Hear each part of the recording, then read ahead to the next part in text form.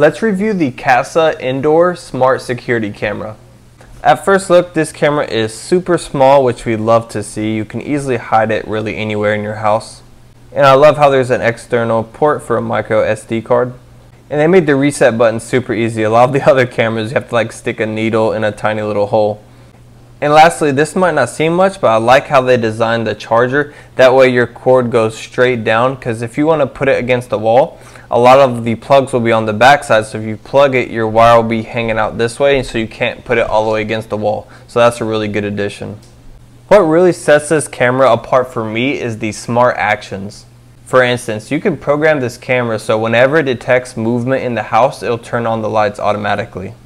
I think that's really cool to get this camera set up it's super easy download the Kasa app power up the camera and add the camera on the app and just follow the instructions. Let's go ahead and set up the camera.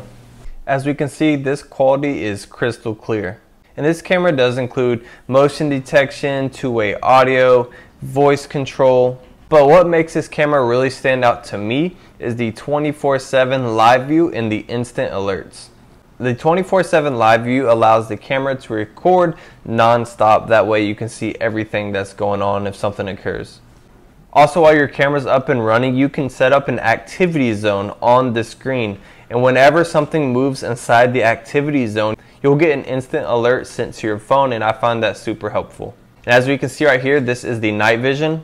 This has to be one of the most clear night vision modes I've seen on any camera. It is very nice.